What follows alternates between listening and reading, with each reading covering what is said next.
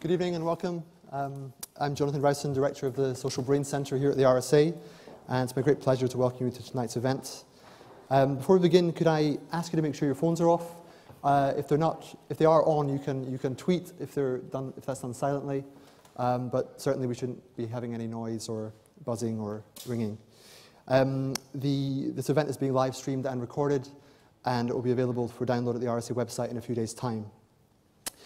Um, now, official notices are over, um, apart from to tell you that hash RSA Gardner is the Twitter hashtag, and uh, there should be plenty of activity there from people here and watching online. Now, um, Professor Gardner is widely regarded as one of the world's leading public thinkers. He's the father of the influential theory of multiple intelligences. He's the professor of um, cognition and education at Harvard Graduate School of Education, and he's the senior director of the educational research group Harvard Project Zero. Um, Professor Gardner joins us this evening to share his latest thinking from a new book co authored with Katie Davis called The App Generation. Uh, in this book and in this talk this evening, Professor Gardner draws upon a unique body of new research to explore the particular challenges facing young people today as they navigate three vital areas of adolescent life identity, intimacy, and imagination in the digital world.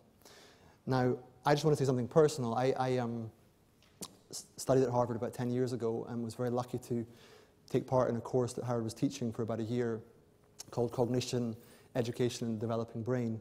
And I wanted to share two things about Howard that you won't see in the bios. Um, one is that he is uh, an email responder par excellence. Like he, you can be sure if you write him an email that you will get a response. It may be short, but it's invariably helpful. And I wouldn't encourage you to flood his inbox tomorrow. But I think in this, in this day and age, it's actually a particularly valuable quality that you will get some feedback. Um, and the second thing is, he's an extraordinary teacher, um, both sort of 100% exacting, really demanding a lot from his students, but also 100% encouraging, really very, very supportive. Um, so to be around him was always a very pleasant experience, and, and uh, you know, I think back to that time with a lot of fond memories, and I'm very glad to have kept in touch with him since then. That's my personal bit over. Without further ado, Professor Gardner.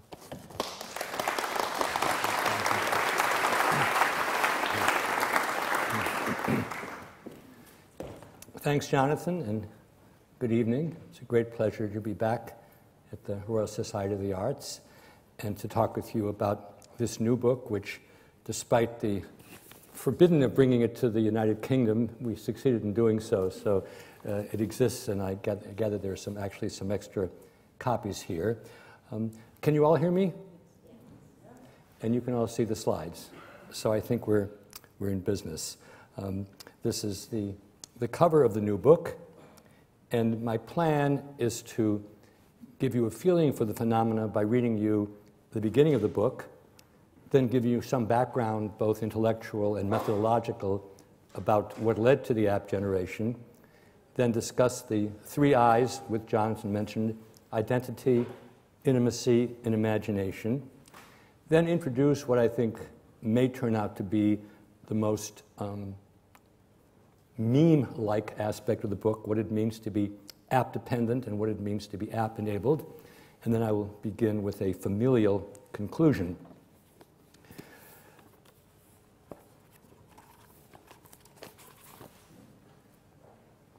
The question that we posed six years ago was in what ways might young people actually be different than preceding generations as a result of their being completely immersed in the digital world. And there was a very crystallizing conversation for me a couple years ago when I brought together my co author, Katie Davis, who was in her early 30s, and her sister, Molly, who was clearly um, a complete digital native, and myself, who you can tell by looking at me is a complete digital immigrant. And here's the pictures of the three of us, and we had a conversation in which Molly, then age 16, had noticed something in her school. She noticed that some of the senior girls who were dating senior boys, these would be 16, 17 years old, had started to show up on her Facebook news feed as being quote unquote married. Only they were married not to their actual boyfriends, but to the freshman boys who played on the same sports team. Molly explained the popular senior girls pick out a freshman guy who is cute and popular and probably going to be really attractive when he's older. They'll kind of adopt him, then take pictures with him, write on his wall, and flirt with him in a joking sort of way.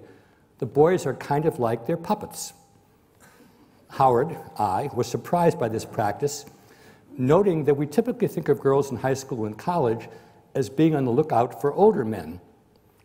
I said, when I went to school, the junior and senior girls all were trying to go out with college guys. So, what does this have to do with the book? What, what this conversation crystallized for me was that the way young people today think about identity may be quite different from the way that I and my colleagues did uh, many years ago. Their notion of intimate relationships may also be quite uh, exotic. And finally, their imaginations may be bizarre. And uh, it turns out these all begin with the letter I. So we had a subtitle, and uh, it took a while for the title of the book to crystallize. What do we use to arrive at the conclusion that this generation is well described as the app generation? We talked with many, many teachers and other people who had known young people for at least a 20 year period. So these were people who had begun to teach or to be religious leaders or camp counselors, or we talked both to mental health workers and to psychoanalysts. And we said to them, in which ways have young people changed? We never asked how would they changed by digital media, but I don't think we had a single conversation where somebody didn't mention computers or pads or smartphones. Um, we carried out separate focus, groups with these um, various categories of workers. Um, we took a look at both literary works and graphic productions by young people. Blind scoring doesn't mean we had lenses over our eyes, but rather the, the coders did not know whether these had been done 20 years ago, around 1990, or just a few years ago, 2010. We also had conversations with many young people, and with permission, I actually eavesdropped on some conversations where I wasn't really invited. And if, if you want to ask me later about uh, what happened in those eavesdropping conversations, I'll mention it if it doesn't come up before. So those were the, um, the, the, data sources on which we relied. But there were also um, some books which were, by coincidence, both published in 1950, over a half century ago, which not only described the period of my youth, roughly, but also were books which, both in the American context, but I think also in, in other um, developed countries, um, told us something about what it was like to grow up in mid century. Um, so, David Riesman, who was a well known sociologist, claimed that in the 18th century in the United States, people were tradition directed. They tried to do what their forebears had done in the country of their origin, or if they'd come on the Mayflower, what they had done um, in the 17th century. In the 19th century, they became much more inner directed. That means that they um, tried to decide what it is that they wanted to achieve. They reflected on their own goals, strengths, and weaknesses, and they weren't that much affected by tradition, nor were they that much affected by what their peers were doing. But the mid 20th century, the period of mass society, which was written about in many European and American uh, nations was a time when people were very aware of what the neighbors were doing, keeping up with the Joneses, so to speak. And Riesman and his colleagues claimed that at that time, um, other directedness was the best label. And I think probably those of you who remember the book vaguely will know that's what the book was so influential because this seemed to be a new phenomenon. We are proposing that 50 years later, our time a good way to describe people, particularly young people, is to say that they're app directed. And if you are one of the few people here who don't know what apps are, I will try to explain them presently. So that's David Riesman, who was a sociologist, and he was trying to describe uh, society as it had changed over the centuries. Um, my own tutor was a well known psychoanalyst named Erik Erikson, um, and he wrote about life stages. If you remember, if you ever took a psychology course, he talked about eight life stages, each of which had a crisis of one sort or another. Because of the age that we're writing about in this book, um, we're concerned with the crisis of adolescence, where if adolescence goes well, you have a solid identity which has meaning for you and for other people. You have an identity crisis, but it gets resolved in a favorable way. But if it doesn't, you end up having role diffusion. You try to be too many people to too many different audiences, or a negative identity where you do the opposite, certainly of what your family wants, and that's not a good thing. Um, the crisis, the node of young adulthood, is are you capable of intimate relationships? Do you have a significant others? Do you fall in love? Do you get married? Um, and then, midlife, what is called generativity versus stagnation, but to maintain the three I's, we converted it into imagination. Generativity means both do you um, pass on your genes, I guess the word generativity has, has, that, but also do you contribute to your society? Do you do something new? Do you make the world different than it was before? So, um, this, in the back of my mind, were the comparisons I was making, but of course, for Katie and Molly, these were not things that were nearly so vivid. So, at last, what are apps? Apps are applications which carry out discrete tasks. Like if at the hotel where I was at this morning, I didn't know how to come here, I would have just typed it in and it would be error free. I could do it by bus, by walking, by, uh, tu- by um, the tube, whatever way I wanted. Um, they're quick, they're on demand. You don't have to spend a lot of time futzing around. You um, activate the app and it uh, does what it's supposed to. Um, it provides shortcuts. It could even provide a navigational shortcut if I didn't like the initial route. Um, and they're highly structured. Um, there's not a lot of room for deviation in the prototypical app. And that's especially true if Apple makes the app because Apple doesn't want you to, to get lost. So it, uh, it's very tightly structured apps. And this was pointed out nicely by Katie. Um, if you take a look at your smart device, most of you will have a um, home page, so to speak, like this. And not only do these apps have names, you know, weather, um, clock, uh, um, Safari, whatever, but these are very done in a very much of an advertisement kind of way.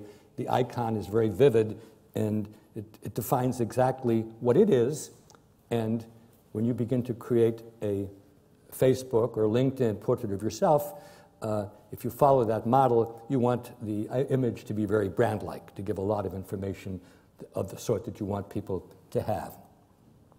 So, why did we decide to call young people today in the United States, but I have a feeling it's not going to be just restricted to the United States, the app generation? First of all, for just about anything that you can think of, there is an app. So you can go throughout your life garlanded with apps. You can spend a lot of time activating and following the procedures in apps. And then we developed a notion called the super app.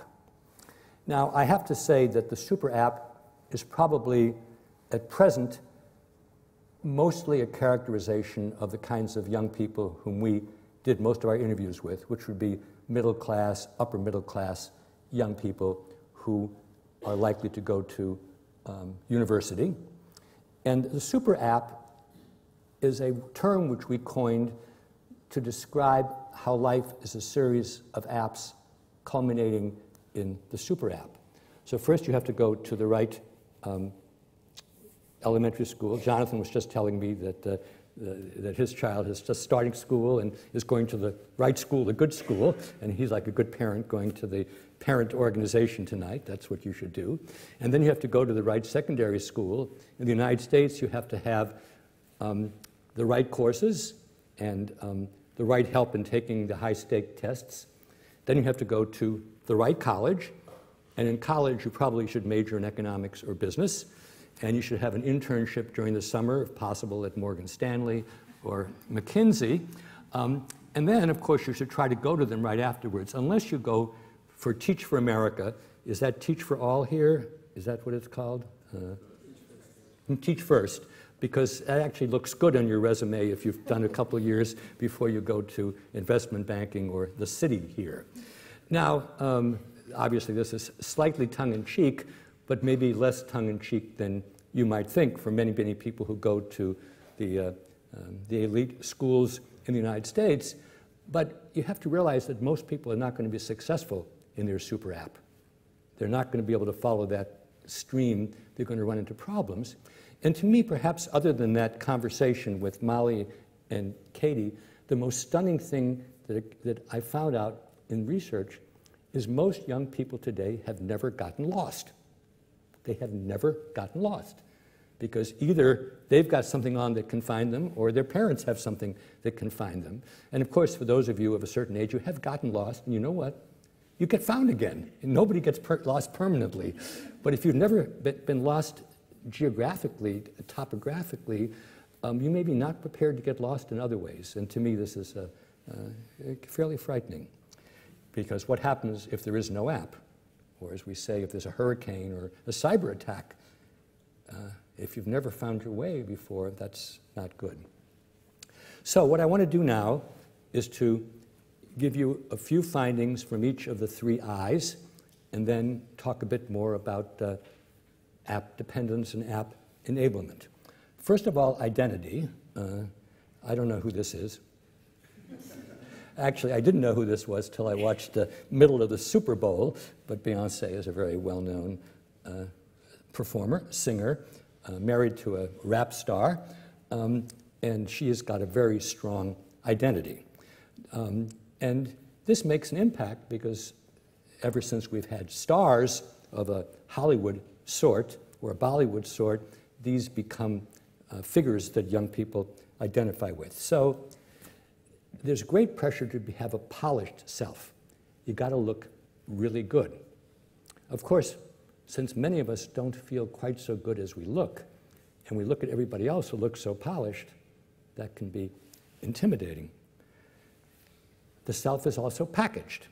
You have to be able to communicate not just how you look, but what kinds of activities you have, what kinds of friends you have, how much you are liked, how much you are tweeted, um, and again, that limits um, the degrees of freedom for your identity. This is, was another thing that was extremely surprising to me. In, we did over 100 interviews with adults who'd seen young people for decades. And I think the single most frequent characterization were that these young people were risk averse. And whenever you do research, it's the stuff that surprises you that you find most interesting. And I'd never really thought, even though I have you know, four children and my grandchildren are too young, that risk aversion would be a recurring theme. But whether these were counselors at camps where the kids put on activities, whether these were schools where kids did essays and uh, put on plays or things like that, whether these were psychoanalytic se sessions where young people spoke about their angst. The aversion to risk came through over and over again. And then I thought about my own teaching, and I don't want to hold myself up as a complete prototype, but when I went to school back in the Paleolithic era, when we were given assignments, it was kind of fun to figure out what was wanted. And nowadays, how many pages, what size, what font, exactly what do you want to have, and fewer if God forbid you should deviate from that when you're actually looking at the exam. So even though I hadn't thought about it in this terms, I've seen this um, myself. Now you're probably thinking, to what extent is this connected to the digital world? And that would be a good thing to discuss because, of course, we can't prove it. But the notion that young people were risk averse was very powerful to me. And if you think about apps and you know, laying everything out precisely, then um, you don't want to deviate because uh, you know, then you could fall off the, uh, the screen. And these are words which people use. There's an awful lot of young people looking at other young people, both ones they know and ones they don't know, and doing comparisons. Um, I think, and, and feeling inadequate if the other people looked more polished, more packaged, and so on. Um, the surprise to all of us in the field, and especially to Sherry Turkle, who I will mention soon, who I think has written the most powerful book about the digital era. In fact, more than one, Life on a Screen and Alone Together, you may know these books, was the change between before social media and the onset of social media. Before social media, Sherry Turkle speculated that there would be a lot of identity play, trying out new things, lots of anonymity, um, um, lots of role experimentation. But once social media, Facebook, uh, Netscape, whatever um, the particular uh, social network emerged, that experimentation was radically cut down because you had presented yourself in a certain way and you were pretty much stuck in doing that again. Intimacy. I'm not going to give a lecture on love or intimacy, but the prototype, when Erikson wrote about it, was that you would have deep, significant relationships with a few people, um, what's called um, a few strong ties, lots of many, many weak ties, um, and this would enable you to have a, a, a, um, a, lifetime partner, though obviously that was not always uh, honored. And I guess my thing where I was amused uh, and bemused was the first time I heard about a couple of kids who hooked up, then went to Facebook to read about them and then decided whether or not they ever wanted to see the person again. Uh, kind of a perhaps reverse of the way that things had happened some time ago. Anyway, young people today are always connected. Um, you know, the notion of looking up rather than looking down is becoming a, a vanishing goal. Um, reluctance to be vulnerable. Um, this is the Sherry Turkle book, that I was mention, mentioning. Difficulty with eye contact. Um, again, one of the things which has been written about and which uh, surprised me was the tendency now when a couple breaks up is not to do it face to face, having those difficult conversations, but rather to do it by texting. And in my 24 hours in London so far, I've seen three plays and plays would be very boring if they didn't have these difficult conversations, if it was all taking place on text. I guess you'd have to put it on the screen. You know, a lot of drama and you know, a lot of life is having difficult conversations, but texting and not looking at people's eyes is a very different kind of intimacy, or maybe not an intimacy at all. And there's a lot of speculation in the literature on the digital world about whether empathy is more difficult to establish now. Because empathy, so the argument goes, involves in getting to know somebody well, being able to put yourself in their skin, getting to see what they, how they feel, looking at their reactions and so on. And if so much of your conversation, quote unquote, occurs through uh, written messages, um, the extent to which you can put somebody, put yourself into somebody's place is diminished. And in fact, this morning I was reading another book that's coming out of our research group by, um, by Carrie James, um, in which she discusses um, intellectual property, privacy, and participation. And one of the, one of the things which she, she reports is people say, well, it's just the net. Or if they're playing a multi-user game, it's just a game. And these are a way of distancing yourself from the meaning of what it is to cyberbully or to threaten or do something else online rather than face to face, where you can see the person's reactions. So, um, on imagination, I'm going to take a show of hands. Um, you have only two choices. How many of you think imagination has flowered during the digital era? And how many of you think imagination has become uh, diminished? So, and you all have to vote. How many of you think it's become uh, greater? Raise your hand, please. Okay, uh, 36%. How many of you think it's become less? Okay, what's 36 from 100? 64. This is for the audience who's, uh, who's listening to this, watching this online. Uh, my, I would say it was about two to one, maybe uh, two, and a, uh, two and a half to one. Anyway, um, we found a, a, complicated picture when it, come to, when it came to um, imaginative powers.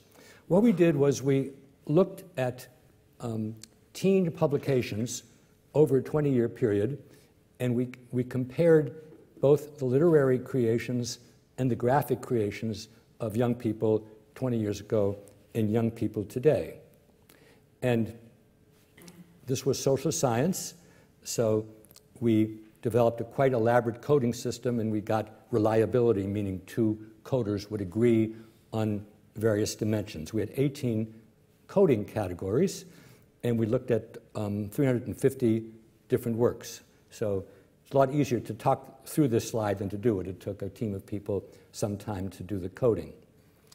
What we found when it came to graphic arts, I'll keep, I won't mystify it, is um, the later works were much more fully rendered. Um, there were fewer blank spaces and much more um, detail um, filling on the canvas, the canvas or the paper with much more um, fine points. Um, you can see here um, when we compared the early and the late group that um, there was much more blank space among the younger people, um, much more fully rendered space among the uh, younger people 20 years later. Um, and even though one could quarrel about whether this is more imagination, suffice it to say that we were impressed in, in looking at these 18 categories in a whole bunch of different media at um, how, how much more resourceful and using of different techniques um, we found in the more recent works than in the ones from 20 years ago. Now, of course, you could say, um, well, these were enabled by the greater palette that is available in many um, either computer applications or simply um, pastiches, mosaics, uh, um, mixing of media that's possible. But the, the point is that that was the finding with regard to the graphic arts. When it came to writing, our coding showed a very different picture. Um, we found among older, I keep saying older, we found among the 16 year olds in 2010 as opposed to the 16 years olds in uh, 1990 less play with genre, you know, going from fiction to nonfiction, from mystery to um, uh, science fiction and so on. The plots were more mundane, maybe risk aversion here.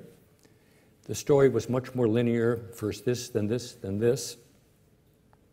And um, language was less formal. Again, this may well be due to a life of texting or a half life of texting, um, more slang and abbreviations and things like that. So, um, summarizing a massive amount of data in a, in a Twitter length conclusion, what we found is if we think in terms of imagination as coded by people who don't know who produced the work, the graphic works do well, the literary works do less well. Here's an example of a short beginning from a 1990 story. As I step into his office, Sanborn scuttles sideways out from under his mahogany desk to greet me, as usual. His blue shell, encrusted with tiny jewels, sparkles, and his fragile feelers begin tracing an invisible diagnosis in the air, called the psychiatrist. a story from 2010 didn't have a name. This is the first year of your adulthood that you will not have spent working. Your wife wakes you up next to you at 6 in the morning, seven days a week. Your daughter and son no longer call daily, but rather you receive a text message every other day on a phone with a touch screen that you're not sure how to end a call on. Sorry for the misspelling under mot, mo, not. Um, and obviously, these, these examples are vivid, um, but they, they were reflected in the coding that we did. So, what I've tried to convey so far is that whether you're talking about identity and um, the degree of packagedness and getting it into good shape quickly, intimacy, where there seems to be a favoring of the superficial and an anxiety about having difficult relationships face to face, or um, imagination, where, as the slide said, Marshall McLuhan is right. It depends whether you look at the graphic medium, which looks good in the 20 year comparison, or the literary medium, which looks rather banal. In all of these three areas, we found significant differences. And of course, in the book, we try to connect this as we can to the um, hegemony of digital media. So, the, as we move toward what does this all mean and what do we do about it, I want to introduce a distinction which um, we felt very powerful. Apps are here to stay. I can't think of any scenario in which apps are suddenly going to disappear. But the question is as you begin to work with apps, do you become dependent on them and does that restrict your, um, your breadth of vision, your sense of whom you can be, the way you relate to people? Um, or do you become dependent on the apps, in which case um, your, your imagination and identity and intimacy are really restricted um, and undermined?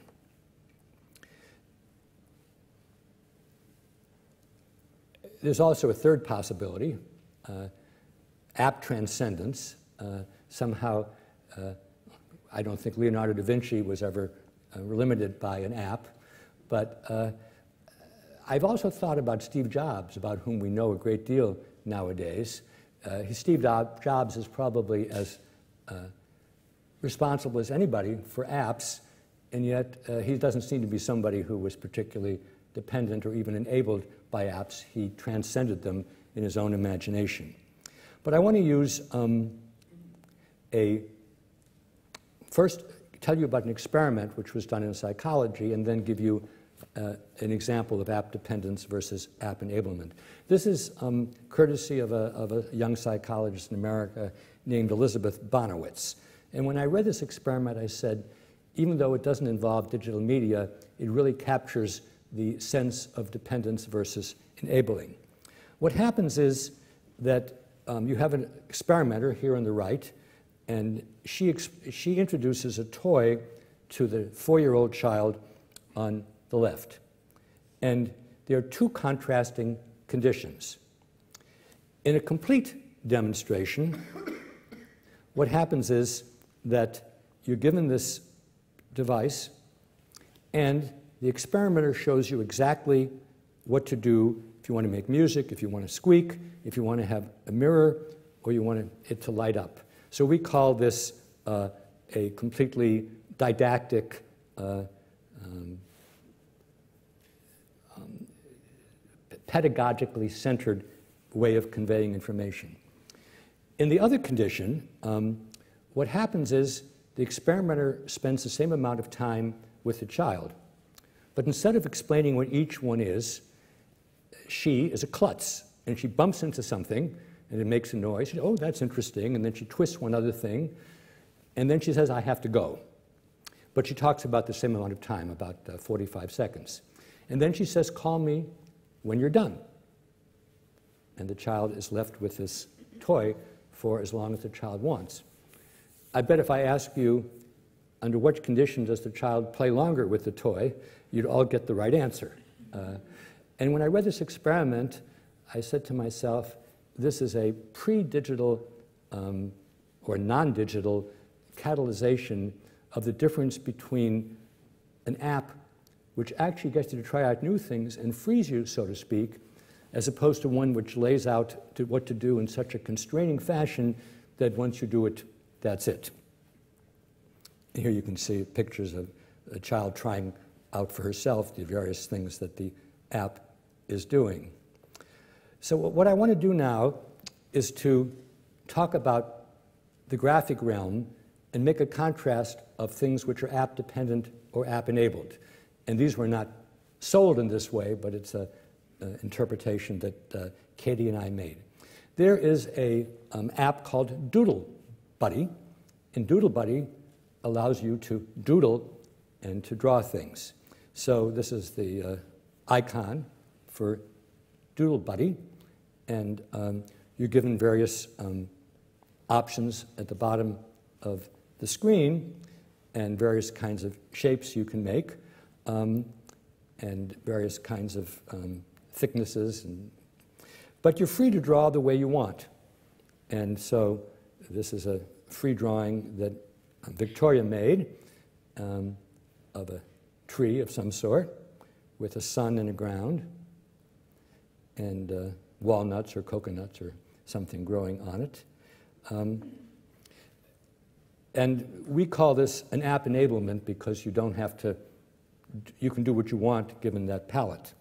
Um, in an app dependent application, uh, you choose whether you want to do something easy, moderate, or hard. And then it's completely color by number. Um, this is something that certainly existed in the pre digital era. And you just choose the color you want, and you eventually fill in everything. And it's a, uh, an app with essentially very few degrees of freedom. What's interesting about Doodle Buddy is you can also use it in an app dependent way if you make use of the shapes which exist at the beginning, in which case the same application can either be used in an enabling way or in a dependent way. And uh, this makes it essentially like color by number. And the point here, which is an important one, is whether something is dependent or enabling is to some extent in the structure of the app as produced by whoever made the app. And there are hundreds of thousands, if not millions, of apps that you can get on your Apple device. But it's also a choice that you make yourself about how to use it. And when it is with young people, as in the Bonawitz study, it's a choice of the people who interact with you, how they model it and what they encourage you to do. So dependence and enablement is options which cut across a number of different constituencies. Um, I think you know this man, David Hockney, and he, of course, uses his pad, and I assume that he does it in a enabling rather than in a dependent way. So I want to conclude um, with a conversation that I had with my grandson Oscar. He's now seven, um, but um, when we had the conversation, he was six, six years old. Um, uh, he calls me Opa, and Opa says to Oscar, um, I said, what, if, you, if I take away your iPhone, he said, I wouldn't be sad, I still have a computer. Oh, what's it like? Bigger than my mom's. You can see Oedipus here. What do you do on it? Search on toys, go to .com, do something like HeroFactory.com, little things. I can write a little code into the line so I can play some sort of game. And I'm kind of shocked by his uh, facility with this language. Um, Oscar says, I Google everything. Amazon, like anything I need to go to Google or write it down. You sound a bit exasperated. Oscar, kind of, but I'm not sure I know what exasperated means. he knows about Google and code and so on.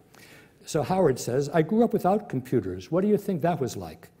Oscar, people would do all chores and more chores and more chores and no fun. No fun? A little bit, but not much fun. Do you use computers for school and study? Oscar, he said, six. I really don't do these things. I just use my computers for fun. How do you use your, how do your mom and dad use computers? For only one thing, work. My mom downloads things she has to do, like does work about food in my school. He, she's studying uh, food science in graduate school. So I want to, um, I decided, says here, Howard decides to put, push Oscar a bit on what digital media did and did not mean to him, and what they enabled or prevented. And this conversation, with which I'm going to conclude, was very illuminating to me about how Oscar sees the world. I say, How do you feel when your parents say, put it away? Oscar, feel a little blue, a little blue. How would you feel, I say, if your parents took all your computers and phones away for a few weeks? Oscar, I feel a little blue, but I could actually have more freedom. Play with toys, play with Aggie, his then eight month old sister, go to places with mom and dad. I say, What do you mean by freedom? Oscar says, Mostly people have technology. This is his word. They're watching every game and brrr, makes a boring sound. Do it all day and don't do anything else but just watch TV. So you can play with toys and things like that. And I'll end with this image of Oscar in a pre digital vein. Thank you.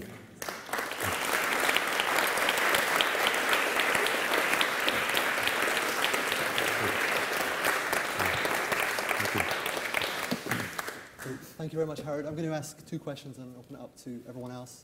Um, I think the main thing I want to ask is you, you drew this binary towards the end about uh, app enablement and app dependence, but you didn't use the word addiction.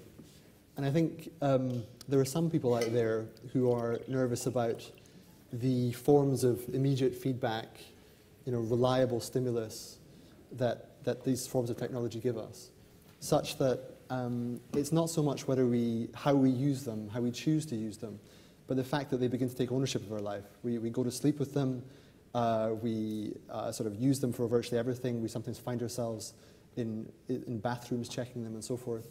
And it just begins to feel as though they're um, dominating us. So, do you feel there's a, a, sort of deeper, more troubling issue to do with addiction, or do you feel this is something that we can get control of and learn to use properly? Well, I was um, thinking just in the last 24 hours about how fortunate I am to have been born in a pre digital era because I use apps and uh, you know, platforms all the time, but I really, and I hope I'm not fooling myself, have a sense that I maintain agency.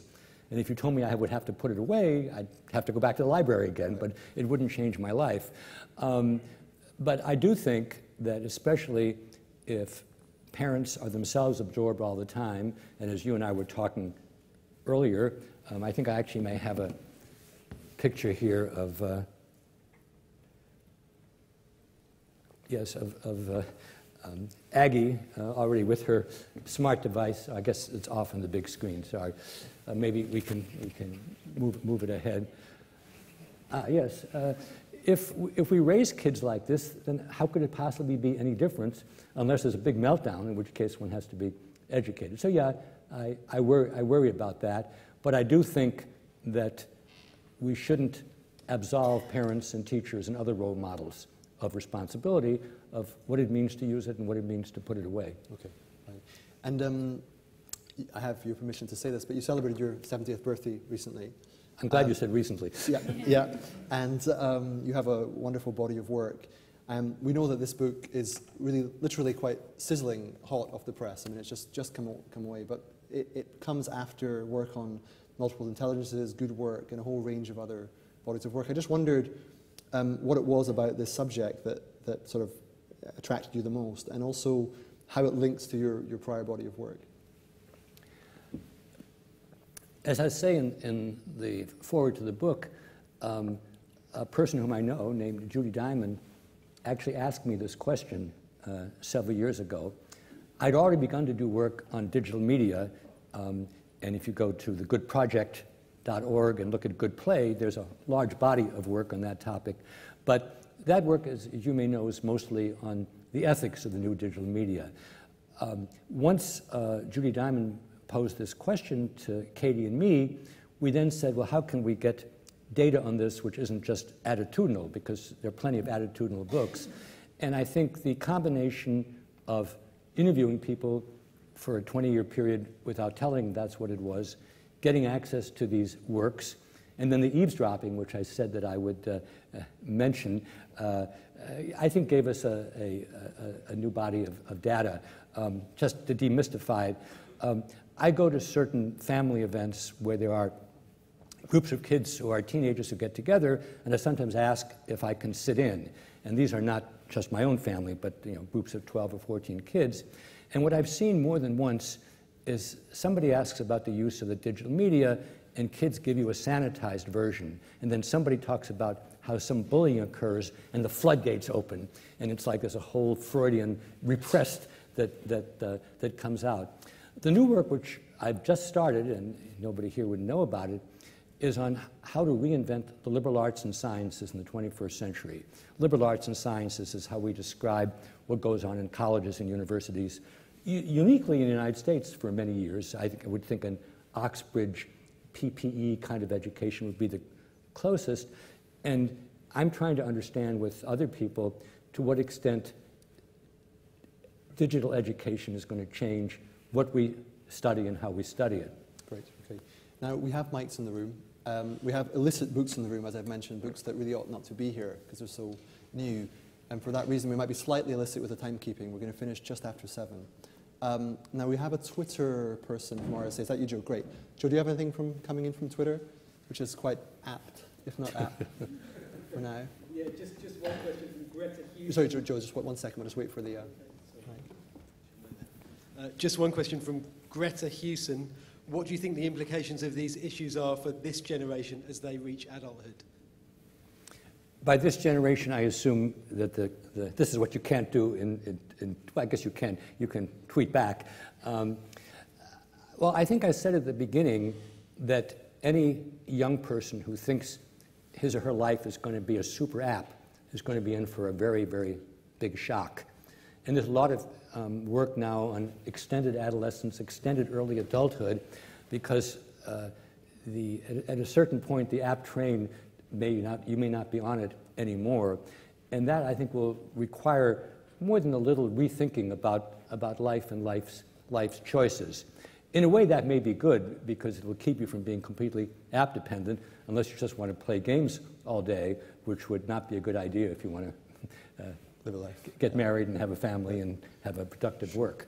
Okay, there's quite a lot of hands already. I'm going to ask first of all Iain McGilchrist has a question. I know this will be of great interest to him. So. Thank you very much, Howard, and uh, I, am a great admirer of your work, um, and this book sounds fascinating, and I'm going to get a copy right away. Um, I was very struck by your remark about the less completed or uh, more partial rendering of pictures in the older days. And it struck me that you were, you were making the, the relationship between creativity and perhaps the more fulfilled pictures. And I was thinking it might be the other way around, that it was to do with things that are implicit, that are only partially suggested, that actually engage the imagination. And that it wasn't really a, a, contrast between the graphic and the literary.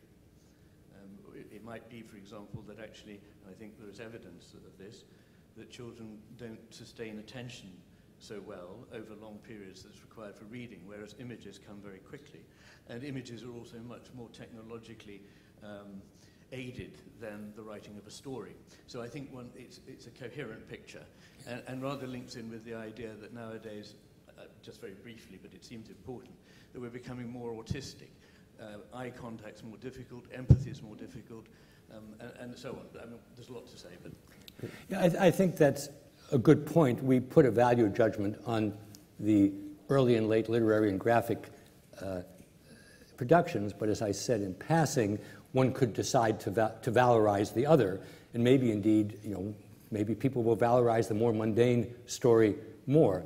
Um, I've been asked a fair amount about what happens to creativity in general in this era, and the answer I have is that we used to have a lot of little c creativity, like if Jonathan and I handle this a bit differently than we usually would, but we also have, until now, big C creativity, people who do things which are really very revolutionary in different art and sciences. My guess in the future is we're going to have more middle C creativity. Um, and that's in part for the just interesting phenomenon that you can have so many people working together on something that the notion of Einstein alone in the patent office makes much less sense. If I can just push a little bit Iain, Iain's point about eye contact, because that struck me uh, in your slides. You also mentioned empathy challenge. I mean, these are really big claims that difficulty with eye contact, what does that mean and how much should it be of concern for us? Well, if, I mean, if you go back to any of the early childhood literature, which both of you would know, this is you know, the major way over you know, millennia that uh, you know, infants and the caretakers hook with one another. I don't think that's going to disappear, but if it gets supplanted very quickly, uh, a lot of things have to be rethought. Um, and uh, what it means, I mean, Sherry Turkle, again, who's usually ahead of us, is writing a book about conversation. And uh, what actually conversation will be like if we don't have people in our space looking at us, it's very hard for me to envision. I hope it doesn't disappear. Okay, right, so we'll take um, a question at the back there, and then if you can give your name, please, and uh, wait for the mic. Thanks. Um, good evening. I'm Dr. Maggie Atkinson. I'm Children's Commissioner for England. Uh, you don't have a Children's Commissioner in the US. Um, my work is about children's rights and their role as citizens in the world now. Um, and one of the pieces of work that we're very um, keenly progressing is on children's seeming inability to recognize that it's not a private space, the web. And not only is it not a private space, but it can be a very manipulative and difficult space to be in. So my friends, however many thousand of them I have, are not the only people who are looking at me. And I think children, the ones who speak to us, the ones who've spoken to our researchers, find that a very difficult concept to get their heads around. They see it as intimacy, they see it as boundaried, and I'm not sure it's either. And I'm just wondering whether any of your subjects talked about that or what your thoughts are. Uh, the biggest shock to me when I began this work, not the app generation, but all the work, and I think it's quite constant with your saying, as soon as you enter the digital world, you enter a world whose temporal and spatial dimensions you cannot control. And everything we know about human cognitive development is that this is not an easy concept to have, uh, to, to, to, get your head around. I still can't get my head around it. Um, right. So, so it's not just that generation, but it's a problem of the medium in a sense. Right. Okay. But, but, but just, just, I mean, I can understand it intellectually. A six-year-old can't. Right. Adults have been worrying about what kids get up to for about 200 years now. Um, in the early 19th century, the novel was going to corrupt them to perdition.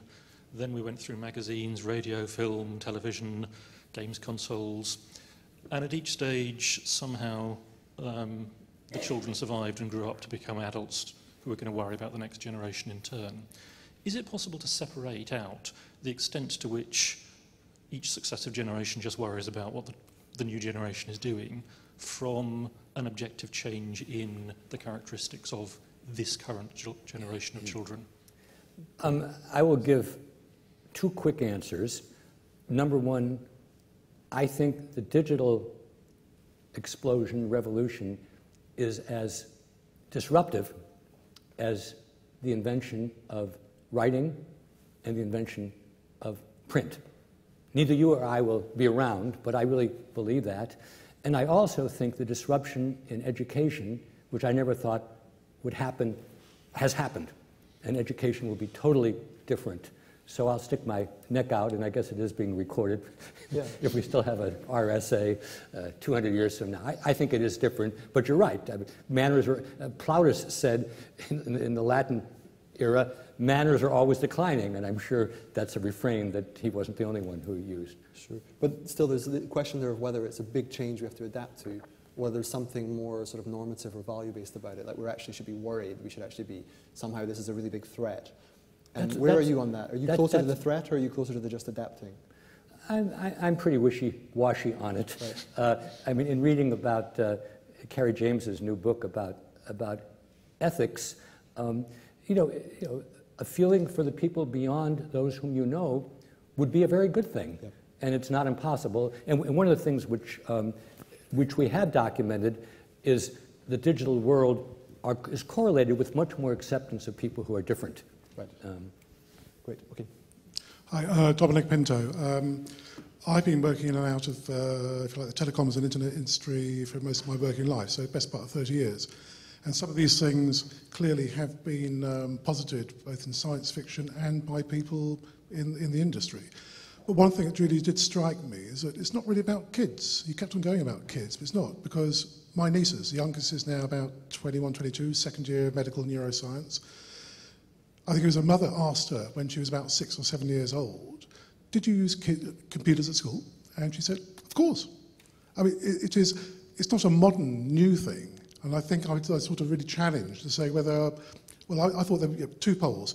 Either this is a lot of tosh or is a deep insight. It's clearly somewhere in between the two. But What's the question, please? well, I don't think I'm hearing anything really very, very new. And really, yes, things change out there, and we change and adapt. We've been doing that as a species for many, many thousands of years. So what's And your really, big message here? What's the new, what's the new what, thing? what is a real insight here which really changes the world? Well, earth shattering? doesn't, to be fair, it doesn't have You're to be setting a rather low, Yeah, setting the bar quite high. low, okay, low, low th- threshold. Um, well, I can answer about identity even within the life of the digital media, because 20 years ago, we thought that the digital media would encourage much more exploration of identity, and now there's a packaging of self which um, is not only, I would say, very premature, but can result in, in suicides and, and in, uh, you know, in, in, in, uh, complete disruptions of communities for what I was talking about to the commissioner, namely, you no longer can control whom you are communicating to and what sense they make out of it. Even the, somebody will help me with the name, the thing, it's Instagram where you, where you, where you, where you show something and in 10 seconds it disappears. In those uh, snapshot, what's, yeah, snapshot, in 10 seconds somebody can copy, copy that. And if you don't think that's revolutionary, sir, then there's nothing that would convince you that anything is revolutionary. Great, Ah, okay, well, that, Lady that's a much longer conversation, yeah. Uh, 20 years ago, computers were very different. We didn't have the internet in schools, so yeah, I think, I think it, it has changed. I just, I, I want to make an observation and um, also a question. Um, I think the scenario that the student was setting up in that story was because they're in such a multimedia world and they, they, their, their, world is very graphic, they were just setting up an image and expecting the person to know what the image would be rather than having to describe it so graphically as you would in as something you'd written 20 years ago. Um, but my, my question is really, is, is schools. Um, two things about schools. We are moved from a case where we gave stu- every student a book to giving every student a computer.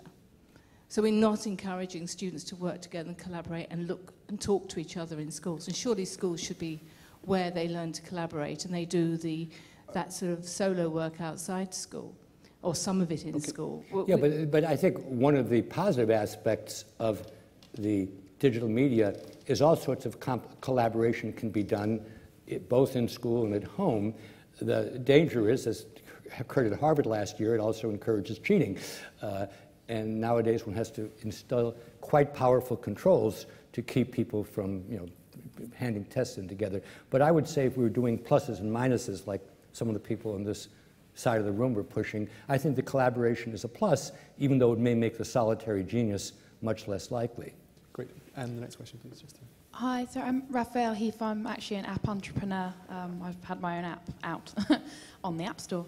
Um, but I actually had a question just to ask you. You talked about the generation which are app dependent, but have you found yourself dependent upon an app that maybe has changed your life? What's your favorite app? Or Well, I'm dependent? certainly dependent upon uh, you know platforms like uh, like Google or Wikipedia, um, but as I said, if it was taken away, I would just re- I would revert to other way other sources of information.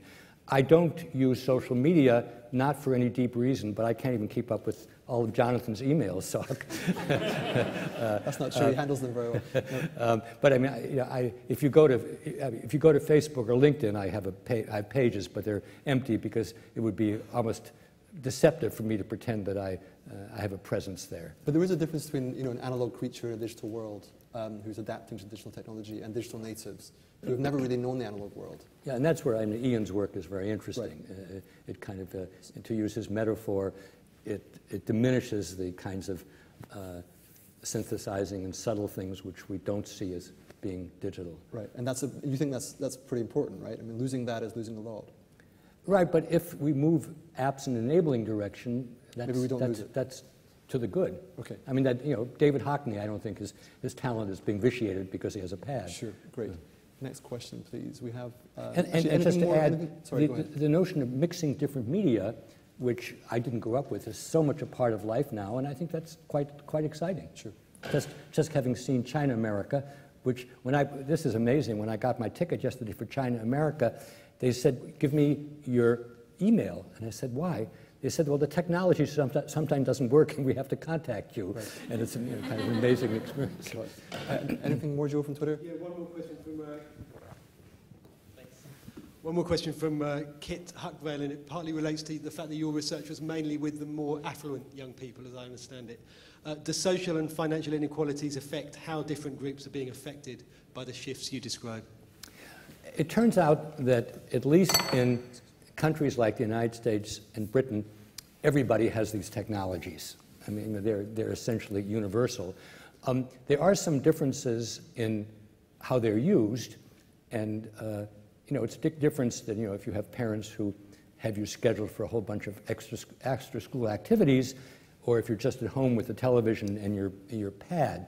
But when we talked to, we did a focus group of people who work with kids who are not advantaged, and something rather humorous came out, uh, namely that kids in America don't shovel snow anymore because the wealthy families hire somebody to come in and do it, and in the poor families, um, the parents do it because the kids are cuddled both ways. So the digital divide, which many of us expected, is not showing up in not just in our work, but in almost nobody else's. Now, when you get to a country where you know, the, the, the, purchase of a phone or a pad is prohibitive, then of course you're going to see differences. But uh, both, both in Britain and in the United States, we have been underwhelmed by differences across social, social classes. Great, okay. And we're running short of time now, so I'm going to wrap up. Um, sorry if you didn't get a chance to ask your question. Um, I wanted to share something um, that so, someone else, uh, speaking about Howard, described him as a blend of Mick Jagger and Charles the, Fifth. He said, um, this was, he said he's like Mick, Howard is a rock star, but like Charles V, the sun never sets on Howard Gardner's Empire of Ideas. So with that in mind, I'd like to thank Howard Gardner for sharing them with us.